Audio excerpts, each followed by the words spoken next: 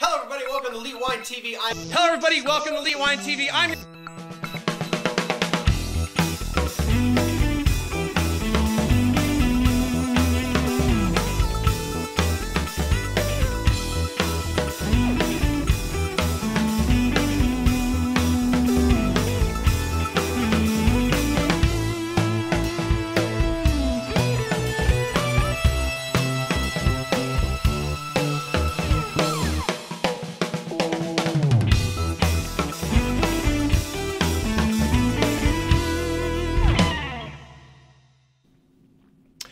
Hello, everybody. Welcome to Elite Wine TV. I'm your host, Mark Fusco, here for another edition of the show. Nothing like doing wine reviews at 2:46 in the morning. anyway, um, so uh, last set of reviews on this group of reviews for me. Um, anyway, so let's do more from Creative Palate, my friends again. That dude, I get a lot of wine from them, and they're so cool to send me all this cool wine. Um, so I'm very happy to to and actually this year it's been a really great variety of some stuff. So I'm uh, so far, and I'm really excited about it. All right, so let's just get right into it. Um, so these wines are from uh, Renzo Masi. Um, so this is uh, from the Chianti Rufina area. Uh, the Rufina area of Chianti. So this first one is the Renzo Masi Chianti 2018. Um, yeah, it is, uh, I think this is 95% Sangiovese and 5% Colorino. Let's, uh, I'm just going to get to that. Yeah. Um, so, yeah. And uh, so let's kind of talk about them real quick. Um, let's see here. Uh, the family tradition of winemaking dates back to 1925 when uh, Paolo's, uh, Paolo, Ma Paolo Masi is the current winemaker and owner, uh, when his grandfather purchased Fattoria, which means farm, di Bas Basciano on the heart of Chianti Rufina. Uh, the, the property occupies a hill overlooking the uh, Arg Argomena Valley on one side of the right bank of the Sieve, Sieve I guess S-I-E-V-E, Sieve River on the other. Um, as, as in other top Tuscan areas, the soil here has the famous Galestro, a flaky shale, stony soil, a thousand stony soil, a thousand foot elevation, and a dry, breezy microclimate make for ideal wine growing conditions. Uh, the family farm is a traditional and ecological, ecologically healthy mix of vineyard, 86 acres, and 49 acres of olive groves and forest. Um, they do um, source some of their grapes. Uh, so the the they they basically they don't have enough grapes to make all the wine they make. But uh, it's but the the uh, purchase wine from their neighbors. Uh, they've worked with the family for an average of 15 to 20 years, and with some of them working with them for 40 years. Um, let's see here. Uh, Paolo uh, definitely went. Uh, he, he he's got degrees in agronomy and winemaking from the University of Florence, and uh, it says that for Paolo, there are no sacred cows. If replanting a vineyard or green harvesting improves quality, it is done. So green harvesting is like when they like basically drop fruit, if I remember it correctly. Um, let's see. The result is a more modern style of wine, still endowed with Rufina's traditional capacity for aging, but equally enjoyable upon release. Um, grapes undergo a classic red wine vinification. This is for this wine, uh, followed by a 10-day maceration to extract the right balance of fruit and color. Um, yeah, and retails for about $12. So because I'm no longer in the restaurant industry, uh, I'm in the retail side of things, uh, I've been really kind of rediscovering um, wines that don't cost like retail for like 50 bucks and 40 bucks, you know, wines that are costing like 10, 15, 20 dollars. Well, my average price to pay for wine has been 20 to 40-ish dollars for quite a while. When you work in fine dining, you kind of get spoiled. Um, and so now I'm in the retail side of things. Uh, I've been really kind of rediscovering some of these, you know, more value priced wines, um, and you know, kind of checking out retail places uh, and like looking for like the value stuff. So I'm excited about trying this.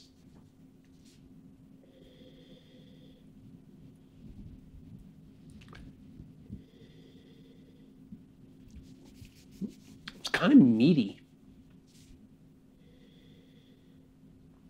Like it's got a little like cherry.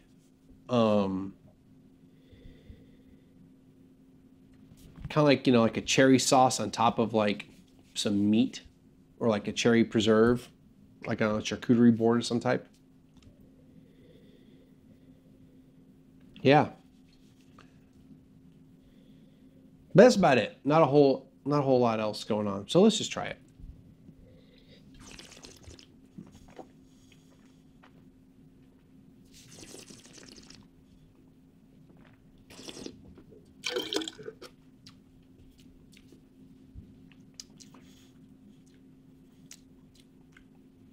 It's like more like black cherry and black raspberry. Um, yeah, the meatiness isn't really coming through so much on on the palate.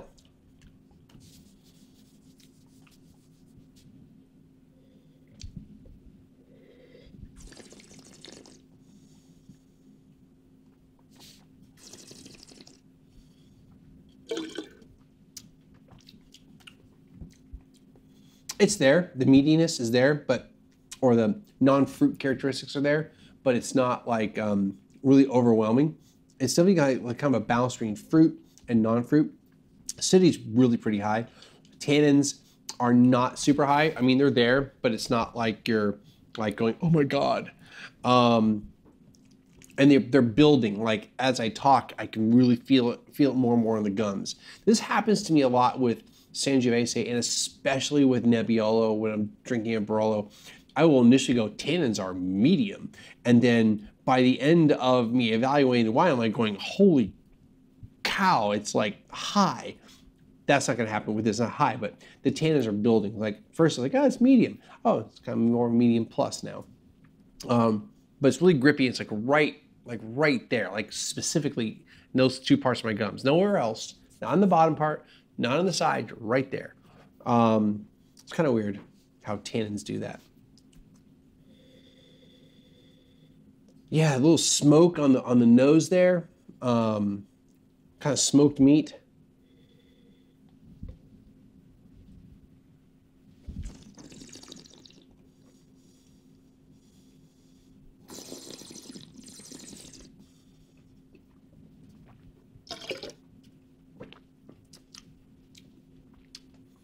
It's really enjoyable wine, especially for twelve dollars. And that's what's it's not super complex and doesn't need to be. I mean, I've had twelve dollar like not Napa cabs, they don't exist, but like twelve dollar California cabs. I'm like, oh, this. I mean, I like this a lot, but it's not a complex wine. It's like really easy to drink. Uh, Sangiovese, it's Chianti. Um, it's got the Italianness to it, but it's not like so it doesn't have like that really like musty, dusty, leathery thing going on. It's cleaner. Um, it's like I guess more of a modern kind of style. So it doesn't have like that that funk that Italian wines can have, which can be really off-putting for a lot of people. I would consider this more of an international style, more of a more of a modern style of wine. It's got a touch of it. I mean, it was a little bit there. Like when you saw me kind of pause a little bit earlier, like a couple minutes ago, I was like going, do I get a little dusty mustiness, almost Brett. And it was like, eh, not really, but it it there's definitely an Italianness to it, but it's like really subtle. Let's just get on to the next one here, because I'm just ready to get done. And it's good wine, and I know I ramble on a lot. Uh, so this wine here is uh, the 2017 um, Erta Icina, or China, which I'm about to find out. So Erta Icina means ascent and descent. I had no clue that the word China in Italian means descent. I'm gonna have to look that up. Like literally never knew that. Not that I'm like fluent in Italian, because goodness knows I'm not. Anyway, uh, so this is a 50-50 blend of San Sangiovese and uh, Cabernet Sauvignon. Retails for about $16. Um, it's made from a blend of estate and purchased fruit. And um, he first started making this in 95. Let's see here. What else can I talk about that's relevant? Um, let's see. The, the two grape varieties are harvested and fermented separately. Malolactic fermentation takes place in for the in Europe they call them inox, I N O X. It's like a brand name for stainless steel, but if you ever hear them say inox, it's stainless steel. Um, tanks to retain to retain vibrancy. The blend is then the blend is created. Lastly, the wine is transferred to French barriques for 14 months, aging in previously used barrels. Um, and for this vintage, uh, there were late spring frosts followed by heat and drought in the summer. uh, the Rufina subzone, uh, being a more northerly location and uh, having proximity to the Apennine Mountains, uh, benefited from occasional summer showers and more moderate temperatures compared to other areas of Chianti. Uh, then in September, uh, they called them quality saving rains, uh, and cooler temperatures happened. Let's see, and that's it. The rest is like actual tasting notes I'm trying to like not look at, which sucks because like, you know, I do see a little bit of it, but I like, oh, don't look.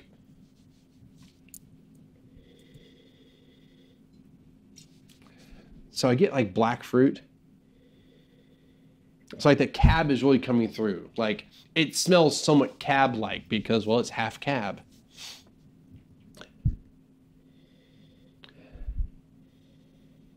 So yeah, like a blackberry, black raspberry, raspberry. Um,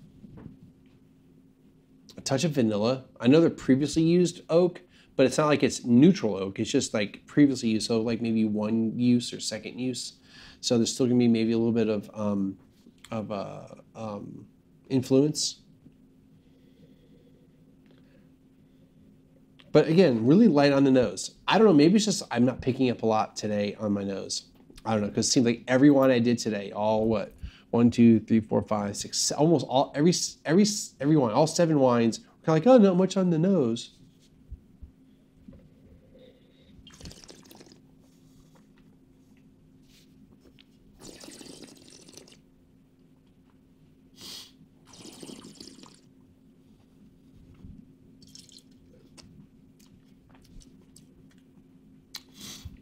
This is like super juicy. Like the cab is really like making itself known. It tastes like a cab blend. Um, the Sangiovese is kind of giving you the, the cherry, and the cab is giving you the, like the, the black and other red fruits. Um, the cherry is almost like a black cherry. There's a richness to it. The vanilla is there, but it's like super integrated. It's not like it's it's not like I'm going, oh my goodness, I'm like biting into vanilla bean type of thing, you know. I mean, it's there. It's just like like a, a, a hint of it. Um, tannin is a little bit more than than this one here, uh, so a little more higher on the tannin, probably from the cab. Um, the acidity isn't as high. Again, the cab is probably bringing the acidity down, total acidity down just a little bit. Then you can have high acidic cab, which is like crazy because I don't consider cab a high acid wine. But I was listening to a podcast today about you know Ridge and their Montebello and talking about how their cab is like high in acid or their wine is high in acid Montebello, but it's a cab blend.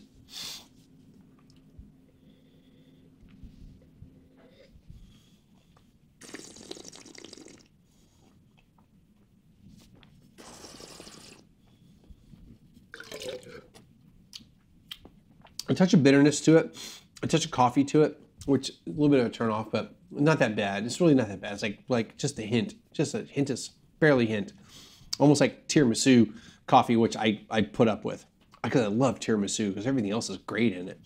Um, I like the one. I kind of like this one better though. I mean, because it's just Italian. This is uh, this is like could call it a super Tuscan. Um, I mean, it's a Toscana. It's an IGT that qualifies for Super Tuscan because it has cab in it.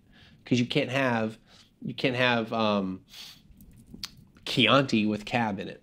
Uh, you have Colorino in it, but you can't have cab in it. Um,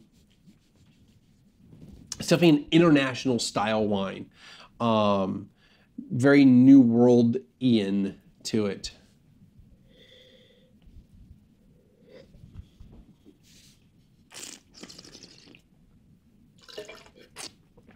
I like the wine though. I like the wine. I like the wine for what it is. It's it's a Italian wine that's using Cabernet Sauvignon in it for half the half of the half of the blend. Um, you get you get both the the Sangiovese and the Cab in there. It's very tasty wine. More fruit forward than this one. This is a little more has a little more earth to it, but I like it. I like the wine. Today I like this one better. Tomorrow I might like this one better because my mood might be different, and that's that's what's great about wine and in general with me. It depends on my mood which wine I want to drink today. Do I want old world? Do I want new world? For the most part, I tend to I tend to lean old old world when I when I'm like, what wine do I want to drink today? But sometimes I just want like fruit bomb, oak monster. I know Gary uses that. You know, oak monster, fruit bomb, just like bourbon barrel, not quite bourbon barrel, but you know, like that American oak vanilla overload. And that's what I want to drink today or that day. Today I want Old World. But anyway, uh, that's going to do it for this episode. Uh, basically, you should buy it if you like that. 16 bucks. It's not expensive. I'm going to finish this one.